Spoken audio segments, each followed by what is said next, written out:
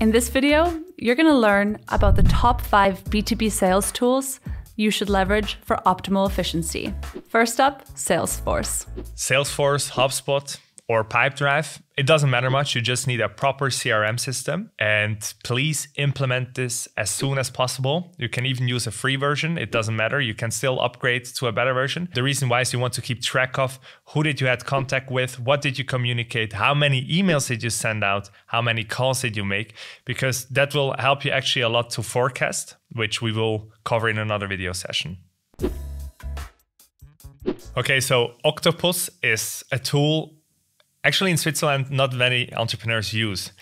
And uh, I give you this advice here for free. Try out Octopus. There's also a free version for a month that you can try. So Octopus is actually a CRM for your LinkedIn which you can also integrate with the CRM you're using. So if you're using HubSpot, Pipedrive, Salesforce, you can integrate Octopus. So what does Octopus do? I can tell you this is uh, some next level stuff you can get there. So you can send automated um, friend requests to a bunch of people on LinkedIn. So actually, if you look at Cedric Waldburger's profile, he has like this astronaut in his name. So actually, he did that because so he can see if someone sends out automated messages or not. Because if you say, "Hey Cedric," from an automated message, you will see that astronaut as well. So that's a very smart move you did there, Cedric. But most of the people do not have this, so you can really send out automated friend requests on LinkedIn with a personalized message. And now it's even better once they will accept your request, you can do automated profile visits and you can do automated uh, recognition of some skills that they have on the LinkedIn profile to keep them engaged. We will also cover some other sales tools later on, but what I can tell you here is you best use Octopus in combination with other activities such as outbound emailing and cold calling.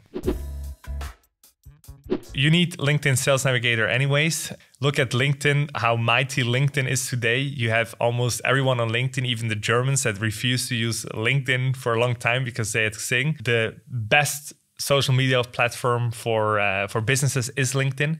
So get LinkedIn Sales Navigator. You can easily get lead lists out of there that you can also integrate with other tools like Octopus or Interseller to really leverage there the the, the contacts that you can make.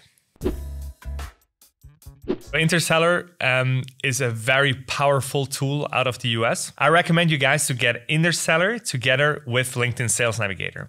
So Interseller is integrated into your LinkedIn. I mean, it also works if you don't have Sales Navigator, but I strongly recommend this. Why? Because you can create a lead list out of LinkedIn Sales Navigator, and then you can put all those contacts directly into um, Interseller. Interseller will search for the email addresses in, in the background. So it's similar to Hunter. Some of you guys are familiar with Hunter.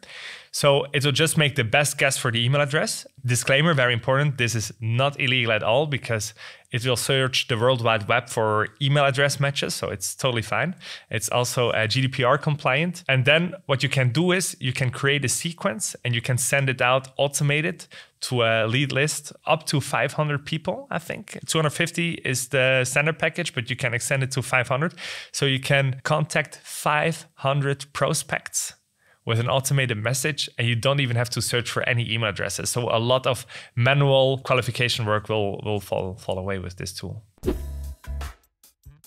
Soapbox and Loom, this is for the for the ones uh, like me that love to sell with a personal note. With Soapbox, Loom, Vidyard, there are many tools you can create videos of your face and they will also see your screen. So if you're showing something on your screen you can use it if you if you send out uh, quotes in a later stage of the process but you can also use it for for prospecting or even show them a feature that is super highly relevant for them. I come back uh, to to the use cases in your industry. So for example you're selling to let's say the automotive industry and you have a super cool use case there. You can really record a video. It has to be short. Less than one minute is ideal and send them this video, they will remember you and the, the conversion rate is really high there. But also on the other hand, it's of course a lot of work to do this.